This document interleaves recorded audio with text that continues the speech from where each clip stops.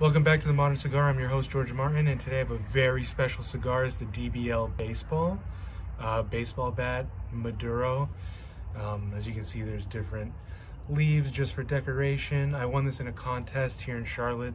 Uh, Francisco Almonte hosted a, you know, freshly rolled cigar event where you get a free fresh rolled cigar if you buy a couple ones. And I gotta tell you, everything I've had from that brand is very good. Um, he has wicked experience in in the industry. I believe he teamed up and worked for Litto Gomez at DB, uh, LFD and Fuente at Fuente. So he's got a lot of experience and he's starting his own brand. And I love everything I've had from him so far. So let's see if this is the next one. And I won't be cutting it. It's already pre-punched just for convenience. So this is the end we light. Handy dandy tabletop lighter.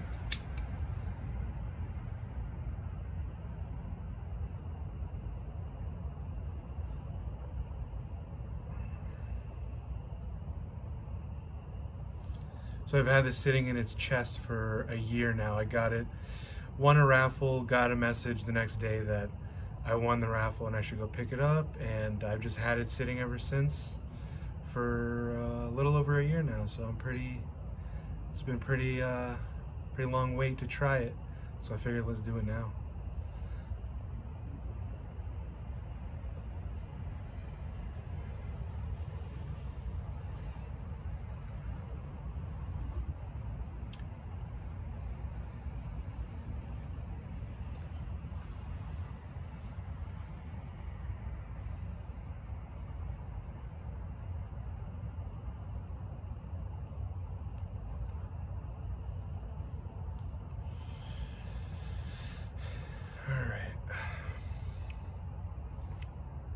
I'm not sure if I lit it properly. It doesn't look fully lit.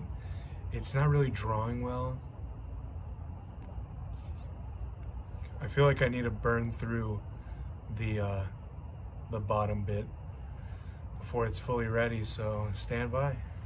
All right, so I'm not totally sure if it's completely lit. I don't know if I cut the, this handle part off. It's smoking properly. The draw's a little snug. I'm not sure if uh, right after this it'll it'll open up, but I don't know, the flavors are decent so far. It's it's pretty mild at this point, but I can't imagine it'll stay like that. Um, not the biggest fan of punches.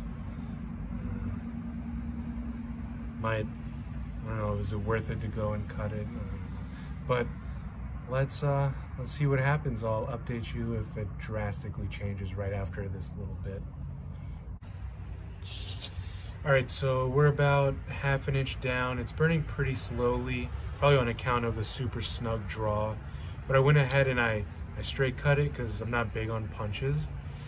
And it's still on the snug side. It's not anything like, it's not plugged or unsmokable, but it's not that, you know, loose, open, whenever, however you want the draw to be kind of, kind of draw.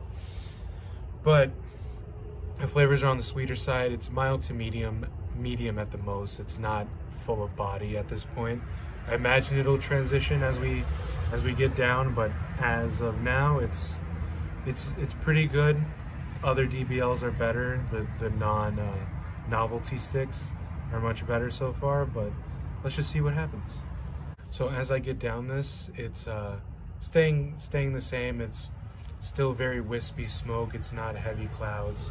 It's on the sweeter, lighter side. It's still mild to medium. If anything, it's less, you know, on the medium and more on the mild, as unlike it was before.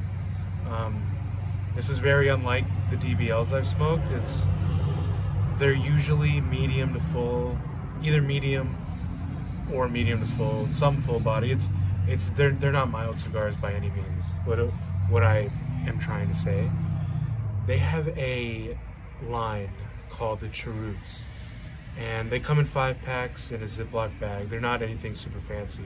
They're unbanded. They're like uh, five and a half by 40. You know, they're skinny cigars, but they are wrapped in. Uh, they come in different wrappers, but one of them is a Ligero wrapper. So it's they're they're super strong, high, full-bodied cigars. And I kid you not, if you retrohale it, it burns so bad. Um, but the anyways, the the flavors are are insane on those cigars. They're very full body, very intense, spicy, earthy, on the sweeter side of things, and they're like five bucks a pop. So you can get a five pack for like twenty five bucks. Problem is, very few of their cigars are available online. So I am fortunate that I have a local retailer that sells a lot of DBL. Um, but otherwise, if if you stumble upon them, really anything from their brand, I totally recommend you pick them up. Um, now, ordinarily, I would not recommend a cigar that's performing like this, but it's a novelty. It's not overly expensive, and you know it's fun to talk about. So it's a, it's a conversation piece. So, but otherwise, DBL is a great brand. So I just wanted to plug them in. You know. But anyways, let's keep going. All right, so we're about we're approaching halfway. It's burning pretty slowly, but I figured out why I'm not getting as many good like clouds of smoke. And just for some reason, the way it's shaped and the ring gauge and everything, it requires borderline triple, quadruple puffs. So once I do that, the flavors are really waking up. It's, it's, it's very rich. It's very smooth. This has about a year of uh, just age sitting in the humidor. It's very smooth. It's a, it's a smooth earth. It's not rich or decadent. It's not chocolatey like, let's say a Padron 2000 would be. It's it's a dirty earth, but it's smooth. Uh, not deserty by any means. It's it's uh, the opposite of deserty. Um, it doesn't have any spice, but there's like a pepper feel, like a non-spicy pepper, let's say. Um,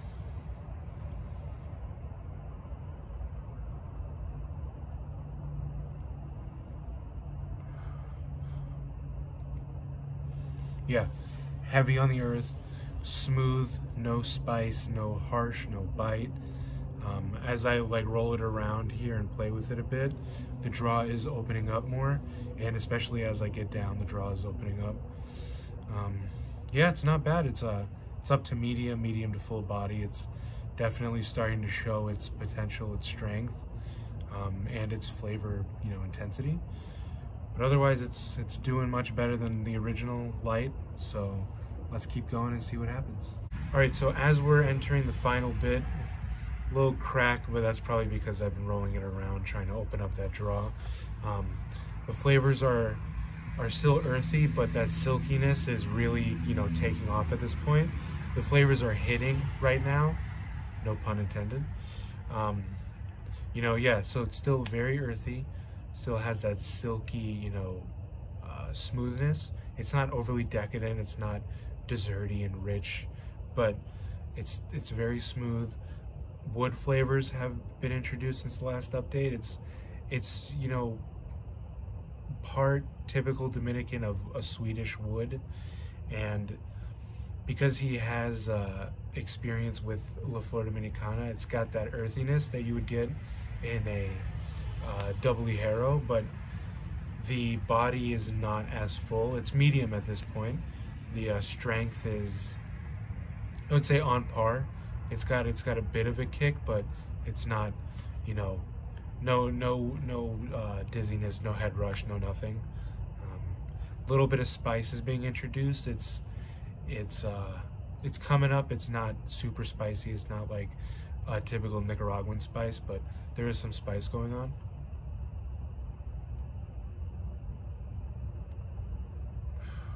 As you can see, the smoke output is has gone up insane.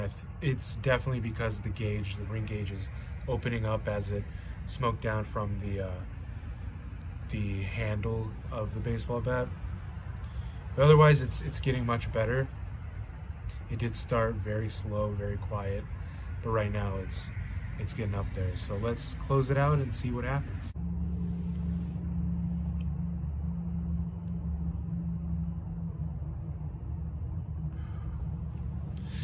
All right, so this is where I'm gonna end it. It's just starting to just unravel and fall apart. And I, I don't know what to, to equate it to. Is it because I rolled it around, tried to open that draw?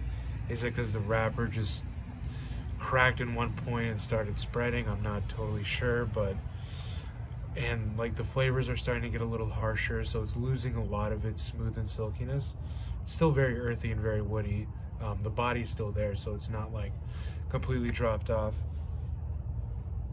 What do I think of it? I think it's a great novelty stick. I think it's a nice uh, conversation piece. You know, if you're a big baseball fan, it's nice to have as a collector's item rather than a regular cigar to have uh, in your rotation. I can't imagine these are all too available on a regular basis. So if you come across one and it intrigues you, I think you should get it because it's not totally common. But if it's if if you're going to the lounge and you want a nice cigar to enjoy and there are other DBLs instead of this one, get them because those are those are made to be you know enjoyable cigars. This is this is made as a nice novelty, um, but I gotta give it to uh, Francisco for being just a great you know cigar brand owner and creator. Um, very nice guy when I met him. He's he's very humble and you know has a passion for cigars. So and it, it translates into everything he puts out. They're not overly priced. It's super expensive, which is nice. It's it's a great you know brand to try and enjoy on just a random weekday, weekend, whatever. Um, for instance, I wrote an article on one of his regular production cigars on my website, and it, it's a great stick. It's medium bodied. It was on the sweeter side. It's it was woody and smooth and just you know a great cigar to have on. I think doesn't matter what day it was. It was probably a Wednesday, but yeah. So DBL's uh, an up and coming brand that I totally support, and I believe will will start to do great things. I think. Um, as long as they stick to their true, you know, formula. That's the name of the the cigar I was just talking about a few seconds ago. If they stick to that recipe and just do what they do best, I see them as being, you know, one of the powerhouses in in five-ish years once they start to really, you know, develop and establish their footprint.